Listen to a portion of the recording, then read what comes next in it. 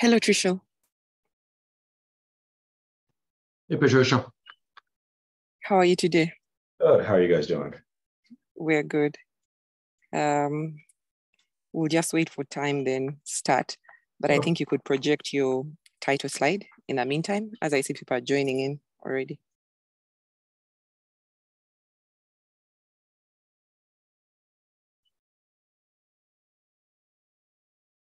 Great.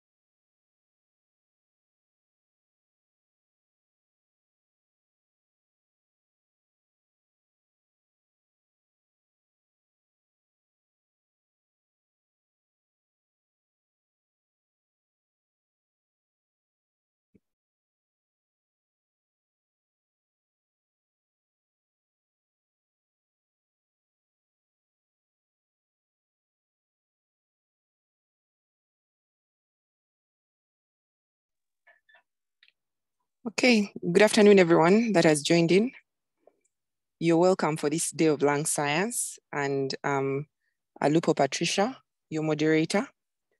We should be starting now, but let's give it about five more minutes for everyone to log on in. It's one past three. So let's give them about five, four more minutes to join in. Uh, in the meantime, please register your names and your institution in the chat uh, to help us with following up and reminders. And then we shall we shall start at about five past three. Thank you.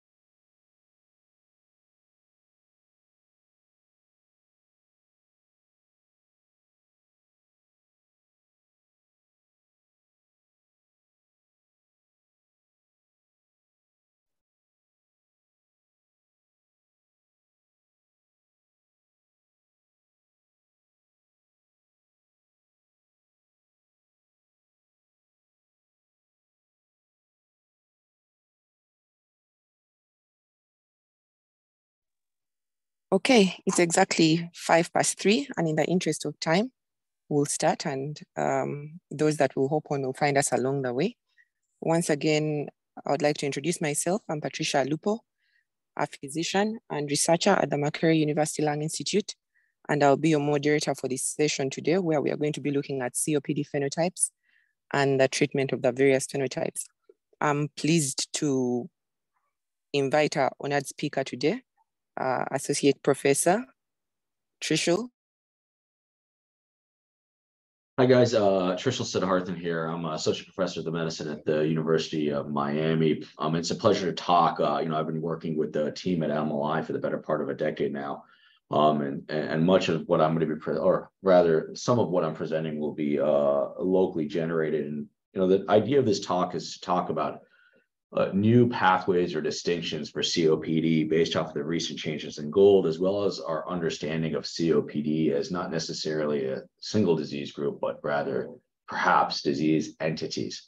Um, and, and, so my goal will be to make this locally relevant, uh, but obviously I'll be talking a little bit about some of the newer advances, uh, as well as some of the newer data presented with an aim of understanding phenotypes. So I've got no relevant disclosures. Uh, and so the objectives of this talk are going to be to start off with COPD heterogeneity. And so how has our understanding of COPD changed over the past couple of years from a distinct disease entity to multiple distinct phenotypes with perhaps differential response to treatment? We'll understand exposures over the lifespan. And so this is what I was talking about in terms of uh, locally generated or uh, Uganda specific uh, data and research uh, and understanding how exposures of, over the lifespan result in these distinct uh, COPD phenotypes. And then finally, I'll talk about implications for treatment and research as well as new directions. Um, and the goal of this is not necessarily to go over, you know, the range of biologics as well as therapeutics, which may or may not be available, uh, but more so to understand how we can target uh, distinct uh, disease pathways with distinct therapeutic options. And also please feel free to interrupt me at any point in time in the discussion. Uh, so we'll start with COPD heterogeneity, and this goes back to the goal statement. And this is actually a, a statement, this is a year old. Uh, GOLD recently updated, but about a year ago, COPD was determined as a common, preventable, and treatable disease characterized by uh, persistent uh, symptoms, airflow limitation, alveolar abnormalities caused by significant exposure to noxious particles or gases. And I traditionally utilize this slide as, a, as an example of how COPD is just this very well poorly defined disease type.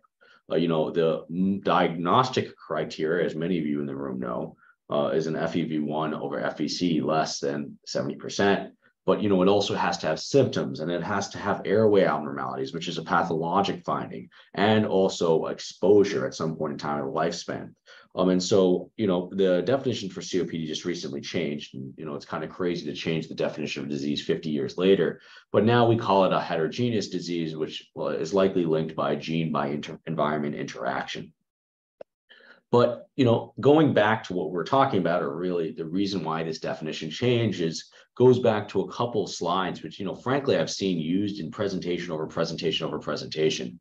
Uh, we were at the American Thoracic Society conference, and it, it, you know, a lot of the people that speak about this use the same slides in, in lamenting uh, that COPD for one patient is very distinct from COPD for another patient. Um, and so this is a classic study by Jones and colleagues in 1997. Um, and they were looking at bron- response to a bronchodilator. Um, and so on the x-axis, we have the delta FEV1 after pre and post bronchodilator, uh, and we have a change in SGRQ score. Um, and so even though we change an FEV1 between patient B and patient A by a very insignificant amount, you can actually have a significant change in the SGRQ score, which leads us to an understanding that perhaps FEV1 is not the best proxy for understanding disease uh, COPD symptoms uh, as well as COPD outcomes. And we know this from numerous data over the past 20 to 30 years that FEV1, though it tracks with mortality, though it tracks with quote unquote disease severity, for patients, uh, they experience different diseases despite their FEV1 level. Uh, this is another classic example, right? So on the left, we have uh, the Netter classic uh, Netter picture of uh, your pink puffer and your blue bloater. Um, and so we have various disease presentations, even though these individuals have the same FEV1. Uh, on the right, we have a range of emphysematous disease. And so are these diseases the same, right? C and A. Theoretically, yes, by the, based off the definition of GOLD, yes, they are the same disease entity, but we can look at patients and we can look at slides and we individually have a gestalt that this is perhaps a different disease pattern. So the first endotype uh, described uh, for COPD was alpha-1 antitrypsin. It remains the only endotype. Um, and alpha-1 antitrypsin is a defect in the SERPINA1 gene. Uh, it results in decreased neutrophil elastase, which results in alveolar breakdown. And so this results, uh, this causes sort of the classic uh, pan-acinar emphysema, but also a range of other uh, systemic findings, including liver disease, uh, ankylite, uh, uh, fat, uh, uh, as well as neurologic phenomena. Um, and, and since alpha 1 was first described, we really don't have any other known endotypes for COPD. and so an endotype is a distinct process that results in a distinct pathology that results in a distinct outcome, which is COPD. But over the past decade, we've been breaking down COPD into phenotypes. And so this box, uh, you see this rectangle. Let me see if I can actually annotate here with the pointer. This rectangle we see around here is airflow obstruction. So these are individuals that are spirometrically impaired with an FEV1 less than FVC uh, of 70%. And within that, we have these phenotypes. And so there's emphysema, which is a slide that I previously showed, or destruction of the alveoli. There's chronic bronchitis marked by coughing with sputum production for three months over a period of two years. And finally, the asthma phenotype, which is marked by airway uh, uh, wheeze, uh, as well as Th2 uh, mediated eosinophilic disease. And so we can have someone who's an asthmatic that doesn't have airflow obstruction. We can have someone that's emphysematous that doesn't have airflow obstruction, or we can even have an overlap between these phenotypes. And over the past decade, I would say, there's really been a, a major effort to focus on how can we treat these phenotypes. And I will bring up some pitfalls and throughout this talk, I will bring up some pitfalls about these phenotypes. And so for alpha 1 related disease, we can augment, we can treat alpha 1 levels. But these are not, these phenotypes are not necessarily a result of the same process, right? There are a constellation of findings and symptoms. Uh, and so while we can treat these various phenotypes, the cause of emphysematous disease is varied. Uh, and it's perhaps we aren't able to treat this disease with the same precision that we can treat alpha 1. And so this is the GOLD criteria. And so GOLD's made a lot of transitions over the past decade in terms of the treatment of COPD. And you'll notice on the bottom part of the slide, this is one year old. Um, and I'll be presenting on the new GOLD updates and talk about why we made that transition. Um, and, and, so for years, about five years ago, GOLD was broken down by FEV1 because it was essentially the way we diagnose COPD. But we dropped that criteria because we do know based off that first slide I showed you by Jones that FEV1 is perhaps not the best proxy based off of symptoms. And so now what we do is we break up the classification and the treatment of COPD based off of A symptoms. And so that we see that on the X axis over here. I'll write down here, um, as well as hospitalizations and exacerbations that we see on the Y axis. And so the old criteria broke it up into A, B, C, and D. Um, at the lowest level, an individual with an MMRC of zero to two, and so this is no shortness of breath with moderate exertion, minimal uh, symptoms on the COPD assessment test, we recommend a bronchodilator. As the symptomology increased, it was a LABA or LAMA. And then with exacerbations, we increased to a LAMA and then up to triple therapy. And the triple therapy had a caveat that was added last year. Um, and so these were individuals that are to be highly asymptomatic and have EOs greater than 300. Beyond that, GOLD had follow-up criteria, right? And so the baseline initial treatment was then followed up based off of how individuals were doing. And so if they continued to have exacerbations, if they continued to have dyspnea, we had step-up therapy. But with that, we also recommended distinct therapies for uh, phenotypes. And so for dyspnea, we are treating with LAMA ICS. But for exacerbators, we had additional armamentarium, including roflumilast, as well as azithromycin. And so starting off with a chronic bronchitis phenotype, this is an individual with a cough and sputum production for three months a year for two years in a row. Uh, this is marked by inflammation of airways and mucus secretion, and not all individuals have this phenotype. Uh, in fact, the predominant phenotype we see in Uganda is actually this bronchitic phenotype, but among smokers, uh, it's a little bit less so common.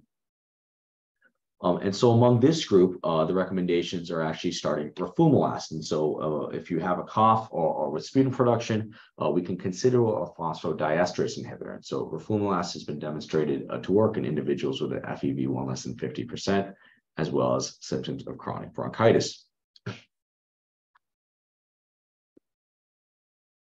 For emphysematous disease, we additionally have uh, therapies. And so in the 1990s, and so this is an individual with uh, panacinar emphysema and apical predominance, uh, we see hyperinflation, a flattening of the diaphragms uh, on inspiration, uh, as well as sort of this uh, saber trachea. Um, and starting in the 1990s, we looked at a lung volume reduction surgery. So we removed part of the lungs, as demonstrated by the NET trial, and among these individuals that had good functional capacity and elevated RV over TLC, we could actually get that lung volume back to functional residual capacity and improve exercise tolerance. We additionally have new novel therapies uh, currently in line where we can actually place valves in the airways that results in lung volume reduction. Um, and with the bronchoscopy program uh, now at MLI, we actually have the option of potentially uh, approaching therapeutics like this in individuals with uh, emphysematous disease. Uh, this is a procedure that takes about five to 10 minutes to do. Uh, it has to be a well uh, identified population. And so the risk of valve placement is post obstructive pneumonia or per perhaps recurrent exacerbation. Um, and so we're really ideally doing these on individuals that have good mobility, uh, good airway tolerance, but it's a procedure that can be done under con conscious sedation. And essentially, it's just deploying a valve in a part of a lung. Um, beyond emphysematous disease, we have the frequent exacerbator phenotype. And so individuals with COPD that have frequent exacerbations uh, result in the cyclic pathway of greater airway inflammation, faster lung function decline, poor quality of life, and higher mortality. And it's one of the areas that we are targeting in COPD management. And so beyond the traditional therapy we have on the left, including inhaler therapy, uh, azithromycin among individuals that have been former smokers, has been approved uh, as the uh, for individuals that have frequent exacerbations. And so this is something that's easily deployable in Uganda. Um, you know, azithromycin is readily, available. Uh, we can give this uh, as a daily formulation. I do Q uh, every other day, Monday, Wednesday, Friday, 250 milligrams among individuals that have had one or more hospitalizations or two or more exacerbations. Other thing to look out for is going to be uh, QT prolongation. Uh, cardiac side effects from chronic azithro are well-known phenomena. Uh, but the study uh, where we looked at azithromycin, the RCT, didn't actually really have an increased rate of cardiovascular events among individuals that are pre-screened. And so going back to uh, the GOLD 2022 criteria, uh, eosinophilic disease has been targeted as a potential end uh, pathway or distinct disease process uh, within COPD. And so the recommendations are ICS and LABA among this group. But interesting enough, uh, there's been ample data around targeted therapy for eosinophilia, and that's really a result of the market achievements we've made in asthma care. Um, and so we A, know the benefits and harms of ICS in this group, uh, as well as we have some very promising data on uh, targeted biologics for the Th2 pathway among individuals with COPD. And so last year uh, and this year, uh, GOLD is recommending ICS as initial therapy for individuals with group D COPD. So these are individuals with more than two exacerbations or one hospitalization who are severely symptomatic.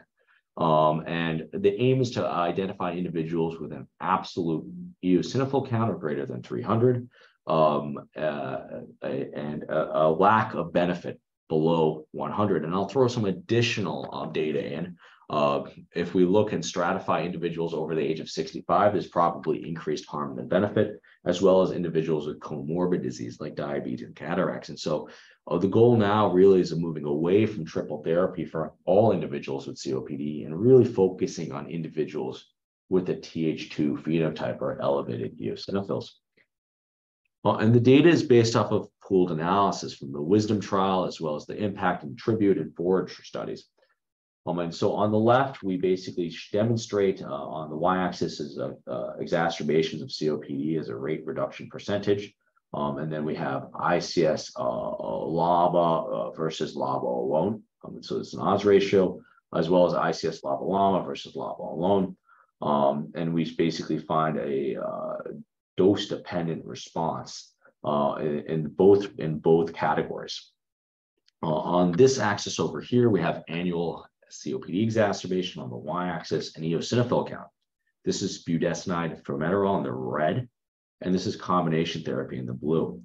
And right about where we get to 200, 250, we see a split between these categories. And so uh, among those individuals that have an eosinophil count above 250, 300, uh, combination therapy is better uh, compared to uh, individual therapy, which is uh, uh, formoterol. And this is annual uh, COPD exacerbation rate. And so we're looking for a decrease. And so this red line is basically a decrease in exacerbation rate.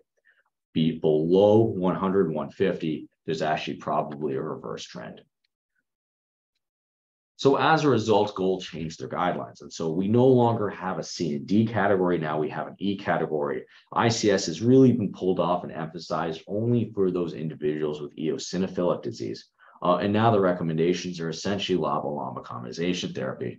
Um, and as we demonstrated uh, in the past year, access for combination LABA-LAMA therapy is very, very limited in Uganda.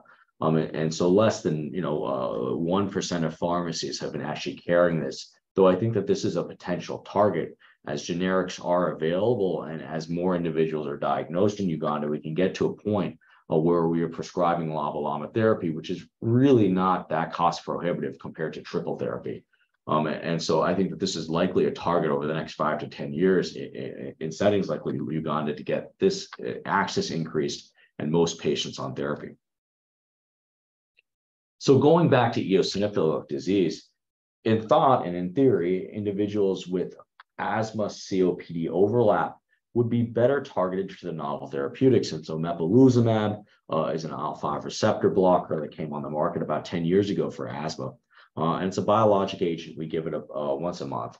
Um, and, and, so Pavord and colleagues uh, studied this in the New England Journal, and, and this was one of the most disappointing uh, studies in, really in the past 10 years, in that the pooled analysis between METREX, and so they looked at individuals with COPD of eosinophil counts greater than 150 on the right, and then greater than 300 on the left, uh, was negative with the pooled analysis. But the subgroup analysis did show a difference in groups. And so uh, in, in A, uh, this is individuals with an absolute eosinophil count of greater than 300. We have a differentiation or split between the mepolizumab, group and the placebo group, uh, but we did not see this split uh, in B.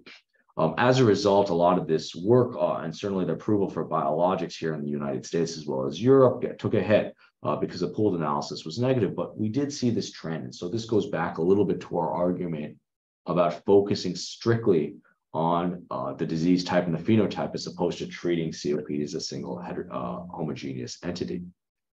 Similarly, Galathea and TERRANOVA looked at benralizumab, uh, which is a IL-5 receptor antagonist, a slightly different pathway.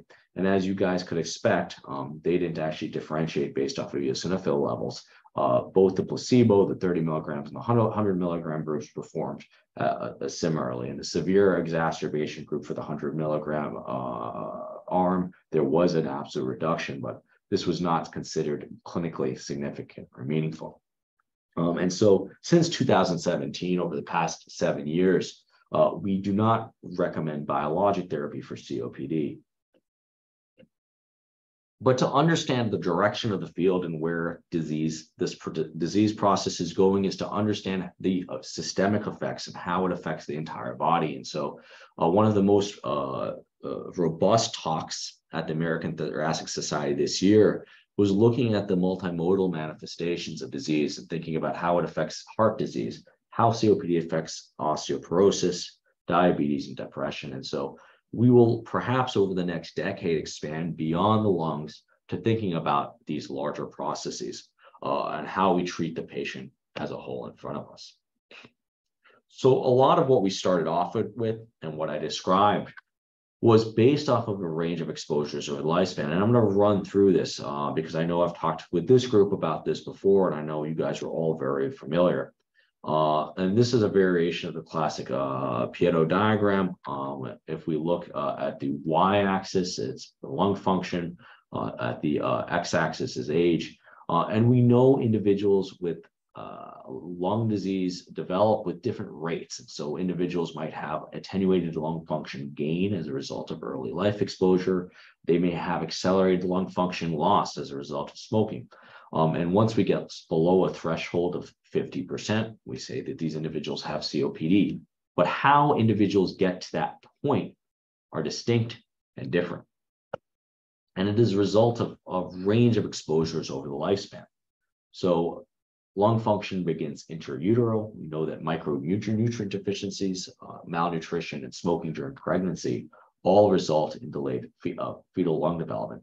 I have to nix out this biomass fuel smoke. So the result of the HAPIN trial has uh, was negative in demonstrating that individuals uh, with uh, uh biomass fuel smoke or individuals not randomized to an LPG intervention uh, do not really have significant change in uh, fetal length or fetal growth.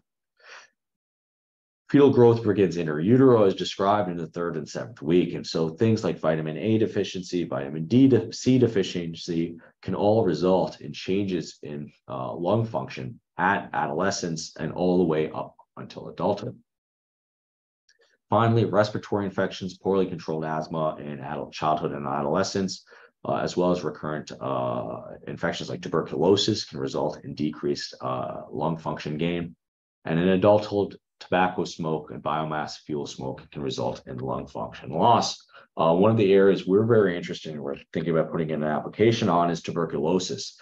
And so if we look at tuberculosis, the prevalence or rather the incidence of tuberculosis is low or lowish in Uganda. However, individuals that get tuberculosis uh, have significant impairments in lung function. In fact, it is the single most important uh, risk factor when we look at the range of risk factors. And so uh, tuberculosis history is uh, perhaps the largest impairment of lung function among individuals that get the disease. Biomass fuel smoke has been an area of focus of mine and uh, the group at MLI now for the past decade. Uh, our interest is in understanding whether or not individuals exposed to biomass present as a unique endotype, going back all the way to that slide uh, related to alpha 1 related disease. Um, and so we know that uh, biomass is an airway predominant disease. It results in cough, phlegm, and symptoms of chronic bronchitis, uh, which we discussed uh, has perhaps a differential response to treatment. There's decreased rates of emphysema. And so most of the patients we see have less emphysema than those individuals with tobacco smoke. However, there's airway reactivity as a result of an increased bronchodilation and uh, methacholine responsiveness. Um, and one of the interests uh, I think, Patricia, we're going to have after looking at this study is actually looking at eosinophilic disease among this population. And so there is some suggestion uh, that this is a Th2 mediated process as a result of all the environmental exposures uh, from biomass. Airflow obstruction, however, is less uh, than in smokers, but there is a lower quality of life and more hypoxemia when compared to smoking uh, individuals. Uh, this was work uh, we presented uh, about five or six years ago, uh, looking at uh, COPD prevalence across sites. Um, and what we find is in, places like Nakaseke, Uganda, as well as Kampala, the prevalence of COPD is almost equivalent between males and females. And we have far less severe disease than places like Matlab, Bangladesh, or Dhaka, Bangladesh, where the prevalence of smoking is much higher. And when we look at pathology, CS represents cigarette smoke, BS represents biomass smoke, there's distinct phenomena that is occurring as a result of exposure. Um, and so in Slide A, we see goblet cell hyperplasia. We do not see this traditionally in biomass smoke. Uh, goblet cell hyperplasia is, uh, is unique really to, to tobacco smoking related disease.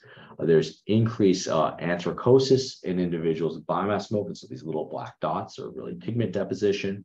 Uh, as a result, there's also increased small airway fibrosis and scarring. And so there's a combination of obstruction in the small airways as well as scarring in the parenchyma as well as increased intimal thickness, and so perhaps more pulmonary hypertension in this population.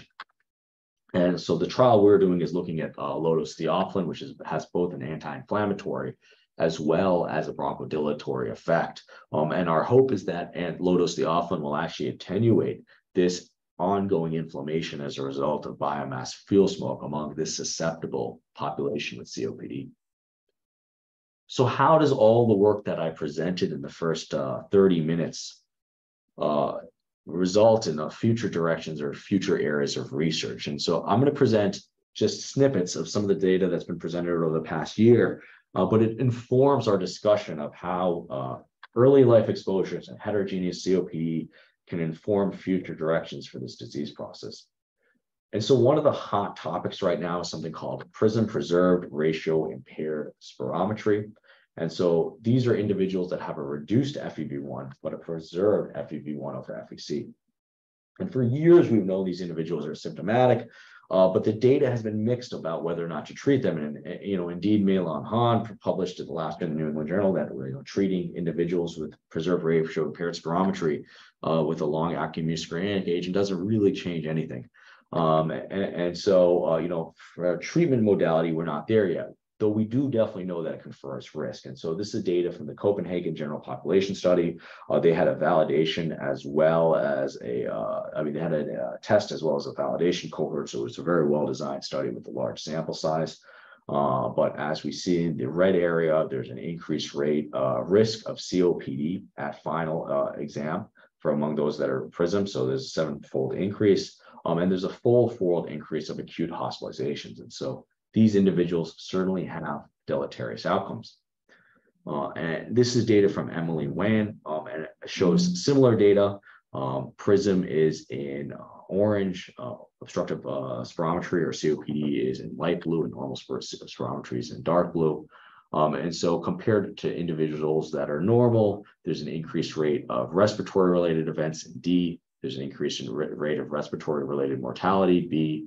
Um, but when we look at things like, uh, one second, uh, all cause mortality, uh, it's similar between PRISM and COPD. And so while PRISM is similar in COPD when looking at uh, all cause mortality over the follow-up time period of 30 years, uh, the rates of respiratory disease uh, as well as respiratory related uh, mortality are distinctly different. And we've seen similar trends uh, across settings in our sites uh, that perhaps PRISM is pre-COPD, but may be a distinct entity.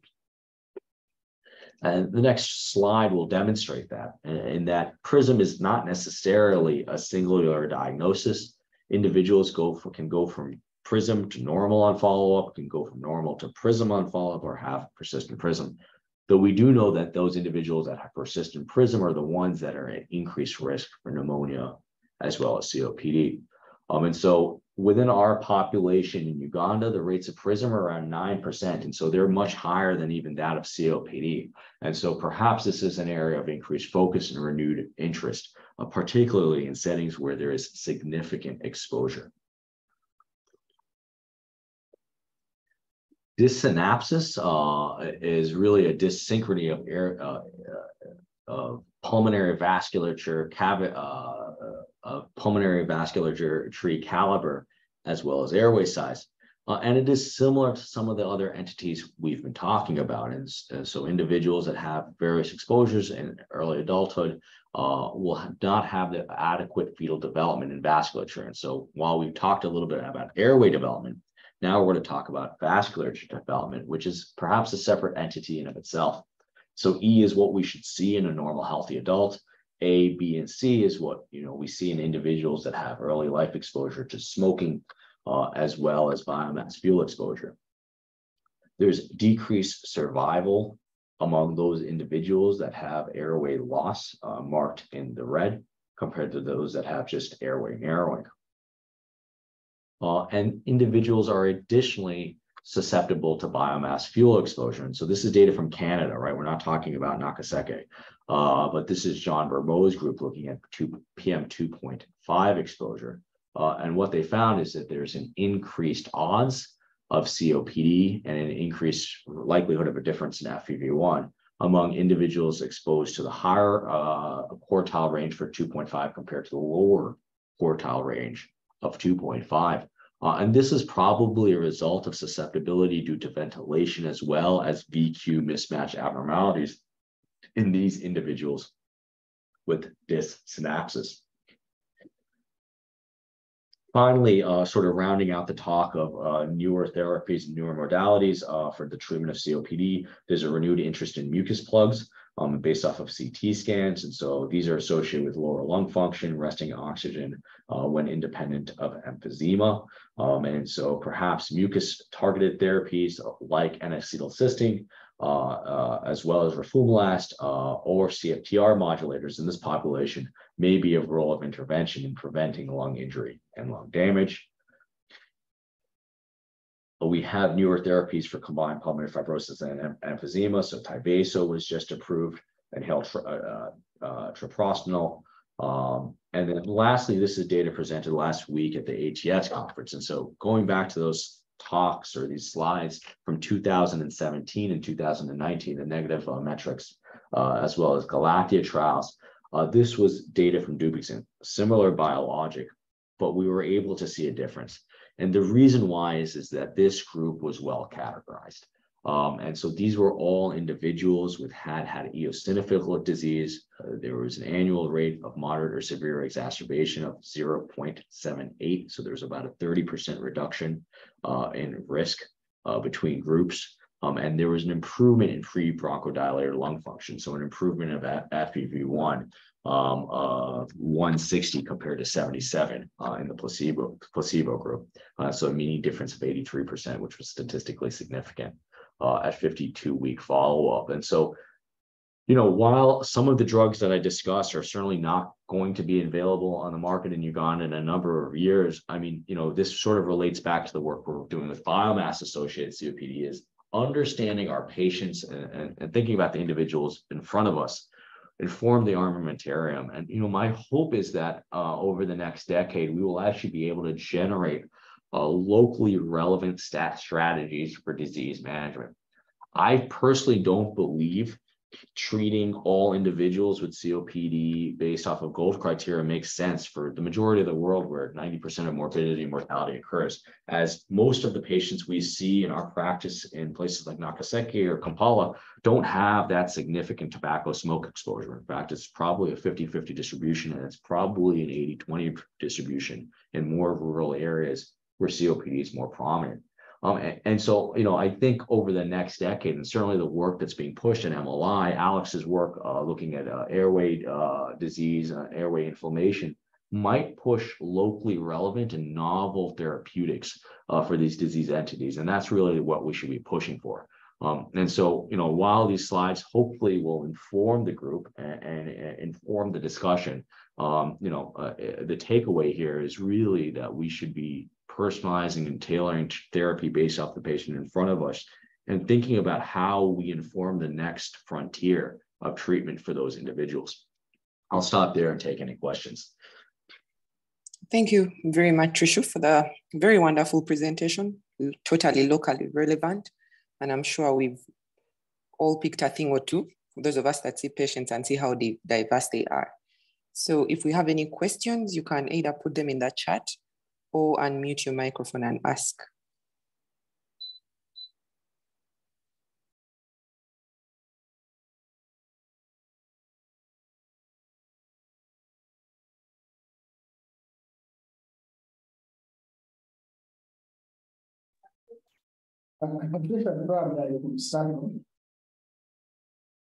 Okay, please go ahead.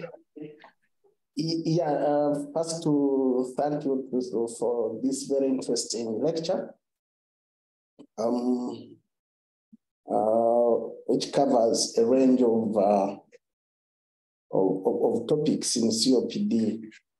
especially the, the, the, issue of vascular abnormalities with exposures, pulmonary vascular abnormalities with exposures. Uh, that, that's quite interesting, actually. Uh, but also the other one, um, uh, the, the question around that is how easy are the modalities to detect those abnormalities and, and, and how can that transform into patient care? But, but the other one is to the earlier slides uh, about the different phenotypes of COPD. Uh, in the old textbooks, actually, these were different diseases. Uh, and they are still actually patients, especially in the West, who still come to the hospital. They say, I don't have COPD, I have emphysema. Uh, some will say, I don't have COPD, I have bronchitis. So, but you see now, all these diseases go back almost to the same area where you have, uh, we are putting back asthma, bronchitis, uh, COPD, uh, in, the same, um, uh, trying to appreciate that probably these patients could be cared for better if these entities were recognized as for themselves. Uh, and, and, and this moves us again, again back. In my practice, I have been in a time when ICS was recommended for COPD. I have practiced a time when it was not. And I have gone back to a time where it is recommended. of course, now with the better medicine, where we can phenotype these patients, so maybe probably those with uh, with the high eosinophils and frequent exacerbations, but those are the, the cycles. So the, the question is here, um, in terms of public health and, uh, and, and, and prevention, wouldn't we be looking at this as one disease? Um, because the air pollution, smoking, all these things will still give you asthma, they will give you bronchitis, they will give you emphysema. So in terms of public health, wouldn't it be better to handle this as one disease? Thank you very much. Yeah, that's an excellent uh, point, Bruce. You know, and you know, I, I, think, you know, when you've been practicing uh, for a while, as you have, it's that pendulum that sort of swings back and forth. We get very excited about triple therapy, and then all of a sudden it's triple therapy is not good. We should, you know, not give ICS. And so, uh, you know, all of this needs to be taken with a grain of salt. I will say that this slide that we have is, is pretty old, right? It's, it's, it's a slide that, you know, has been taught for years and years and years. Um, and, and, so patients, rightly so, will say, I have emphysema, but I don't have COPD because they don't have spirometric COPD. Uh, but they do have exposure or smoking related disease. Um, and so uh, the takeaway is yes, I mean, all these individuals do have some component of airway disease. Um, and pre COPD probably results in to some extent COPD down the road. But I, do believe that the future is in targeting treatment and therapy. And, and, so, really understanding which drugs or which therapeutic approaches will benefit which patient class. I think what's plagued us historically are these negative studies or these negative trials uh, where we've essentially tried to throw the kitchen sink at the heterogeneity of COPD. We've just looked at FEV1 over FVC. And really among that group, the only thing that truly works is inhalers because it is, you know, uh, an inhaler is a large sort of shotgun approach to a shotgun disease process. As we start focusing on some of these targeted therapeutics, ICS, azithromycin, or roflumilast, uh, there are certainly distinct subclassifications or categories uh, that benefit uh, from disease.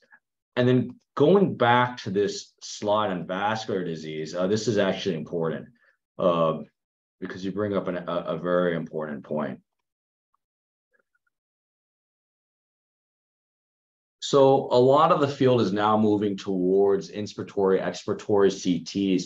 Uh, that being said, is we don't actually understand how they inform patient care, and so we can create these. Uh, you know, I can create these based off of a CT scan, Uh, but I'm yet at, or we as a field are yet at a point to understand how that actually informs uh, patient care and patient outcomes. One of the directions I do want to go potentially within our work uh, at MLI is actually considering doing uh, inspiratory, expiratory, high resolution CTs uh, to better phenotype disease because it's possible that the vascular related changes are much higher uh, in biomass associated COPD and in tobacco disease. That's my hypothesis, but the work has yet to be done uh, in, a, in a setting like Uganda.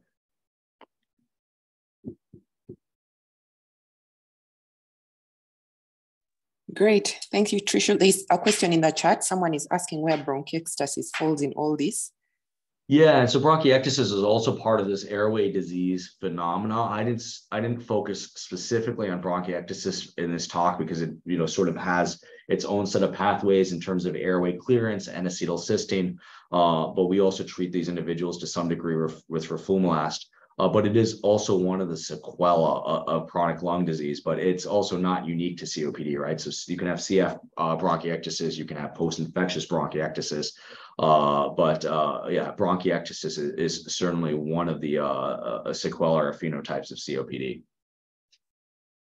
Um, and then I also want to give a plug uh, for William Worodria. Uh, you know, so he got the respiratory health talk at the American Thoracic Society uh, this past week as well. And so, uh, you know, it's really remarkable. Uh, and for those junior investigators in the crowd, because I, you know, Patricia and Bruce and Ivan and, and Wincy, these guys have been at it for years. But for the junior folks in the crowd, it's just really important to understand that, like, you know, you guys are very privileged uh, to be at a place that's sort of advancing respiratory health, not just for the African continent, but really also globally. Um, you know, we're NIH studies as well as Medical Research Council studies are, are being led at, at MLI uh, that are forming the world. And so William's recognition was a part of that. You know, it's a global recognition of his impact on the global understanding of respiratory disease uh, but it's also a function of the work that you guys have all done. And so, uh, you know, I really, really encourage the junior folks in the audience uh, to reach out, uh, to get involved in the science, uh, and, and, and be on the on the global and international stage because MLI is really there right now. I mean, it was it was awesome to see his name and, and the presentation and the work done uh, that involved all the pulmonology group at in Uganda.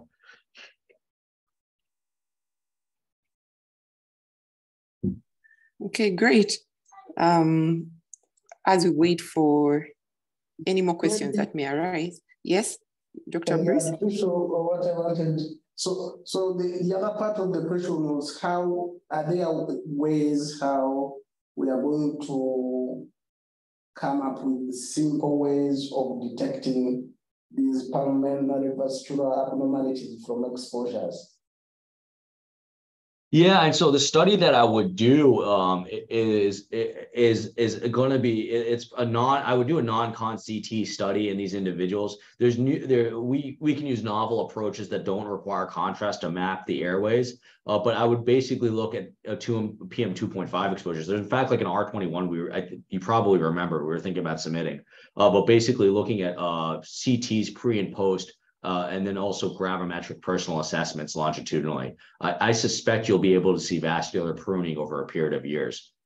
Um, but that's exactly how I approach it.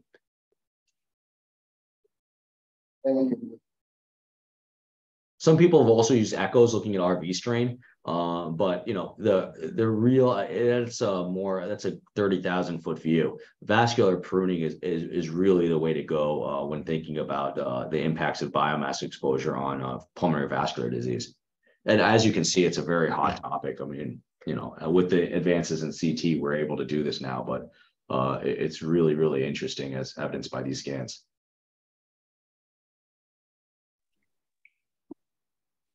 Okay. Um, as we wait for more questions to come up, while you are presenting, um, seeing the new treatment guidelines by GOLD concerning, you know, the change that frequent yeah. exacerbators, and having seen in COPA that most of our patients are frequent exacerbators, I see the medication that uh, is recommended, the LAMA LABA combination yep. not being locally available.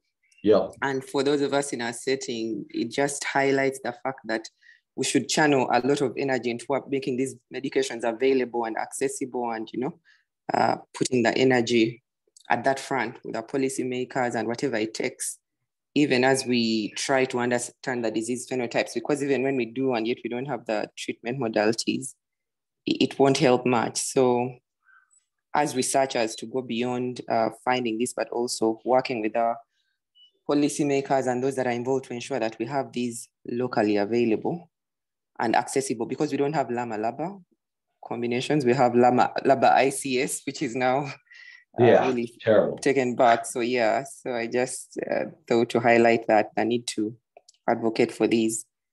Okay, there's another question in the chat that says, uh, what is the impact of physical exercises on the course of COPD, especially in conjunction with medical treatment?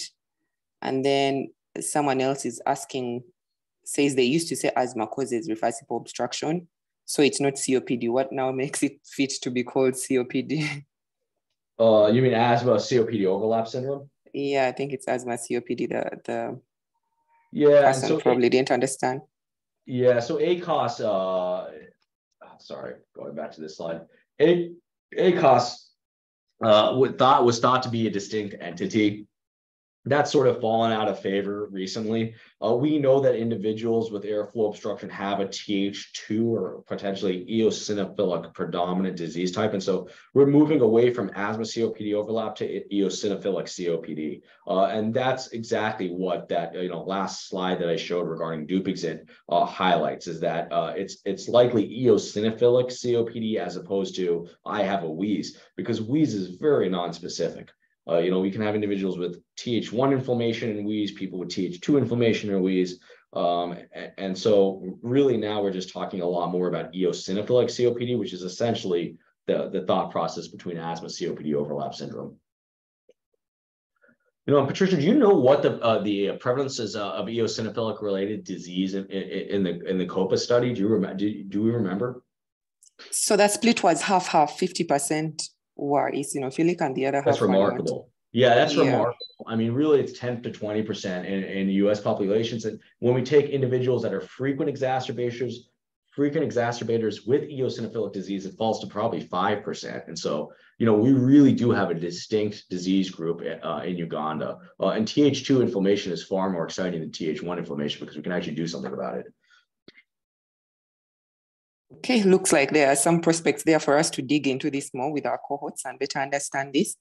So there's another question about physical exercise. Um, someone is asking what the impact of physical exercises is on the course of COPD, especially when uh, used in conjunction with medical treatment. That's wonderful, right? And, and I apologize. You know, I think a lot of these talks focus on drugs, drugs, drugs uh, physical exercise is perhaps the most important and most cost-effective inter in, uh, intervention we can give. And there's two time points. Um, so uh, a lot of this work has actually been done uh, at MLI uh, by Rupert Jones. Uh, but the one time point is actually thinking about peri-insult, and injury. Individuals with post-tuberculous lung disease that get pulmonary rehab have improved lung function on follow-up. We know this from small studies and small trials. Uh, there's an NIH funded R01 where they're looking at this in India, um, uh, looking at pulmonary rehab after incident uh, tuberculosis, uh, and, and, looking at longitudinal lung function at uh, three to five years, as well as the impacts and outcomes. Um, in addition, individuals that have COPD and so have defined disease also benefit from pulmonary rehab, both in terms of exertional capacity as well as perhaps lung function the real issue has been historically where to get this done. Um, and so, you know, traditionally there's a couple specialized centers. You have to go to that place to get pulmonary rehab. But Rupert again and Wincy and the team at MLI have sort of thought about telemedicine ways or ways of disseminating rehab out to rural areas to improve access. I do believe rehab might be one of our greatest targets. I think part of the problem is, you know, drug companies aren't making money off of rehab. Um, and so, you know, as a result, there's not as much excitement or focus as uh, Dupixent. Uh, but we have to think about rehab both in the context of individuals with COPD, but also think about it in the context of preventing COPD, which is far more exciting.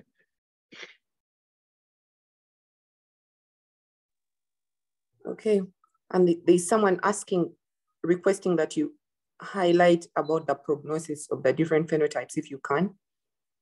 Just yeah. to I have some data regarding that here. Um, and so they don't, I, you know, as far as I know, there's not really, uh, that's actually a great study to think of uh, in terms of thinking about uh, chronic bronchitis versus asthma versus emphysematous disease uh, and comparing the different uh, phenotypes in terms of exacerbation rates as well as mortality.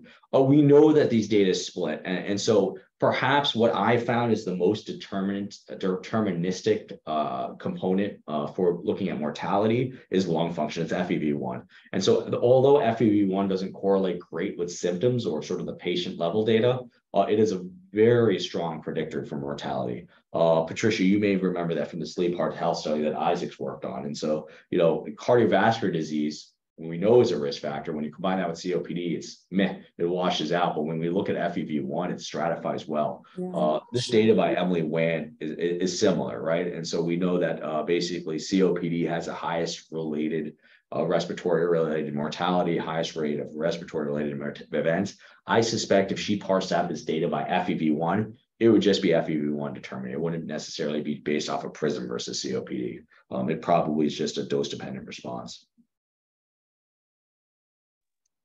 Okay, great. We are coming to the end of the hour. I don't seem to see any questions in the chat or any hands up.